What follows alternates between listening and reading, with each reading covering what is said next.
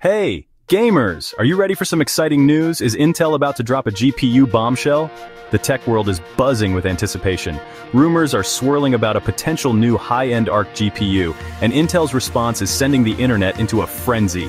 Tech enthusiasts everywhere are glued to their screens waiting for the next big announcement. Let's dive into the juicy details. What could Intel be planning with this new GPU? Alright, so we all know about Intel's ARC lineup. These GPUs have been making waves in the gaming community. The ARC B780 and B570 have been making waves with their solid 1080p and 1440p gaming capabilities.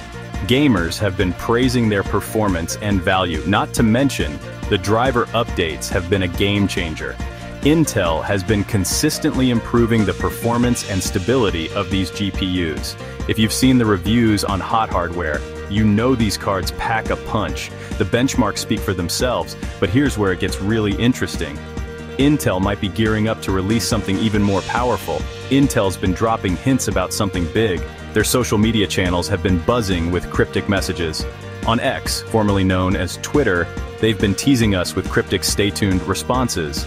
It's got everyone talking. And those emojis, the eyeball, heart eye, saluting, and flexing arm. They're giving us strong vibes that a new high-end Battlemage card, possibly the B770, is on the horizon. The excitement is palpable. Let's take a quick look at the ARC A series versus the Battlemage lineup.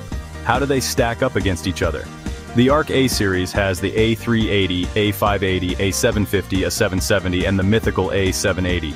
Each of these cards has its own strengths and target audience. Meanwhile, the current Battlemage lineup is a bit smaller with the B570 and B580. But don't let the size fool you, these cards are powerful. There's a noticeable gap that the B770 could fill perfectly. This could be the missing piece in Intel's GPU puzzle. We're talking more Xe-cores, better ray tracing units, more VRAM, and a wider memory bus. And hey, there's more. This could be a game changer for high-end gaming and professional applications. Intel's also got some heavy-duty ARC Pro Battlemage GPUs in the works, with up to 24 GB of VRAM and even a dual GPU 48 GB variant. Imagine the possibilities with that kind of power. This shows how committed they are to expanding the GPU market. Intel is not just dipping its toes, it's diving in head first. Now let's speculate a bit. What could this new GPU mean for gamers and professionals alike? Based on what we know about the B580 and A770, we can expect the B770 to have some killer specs.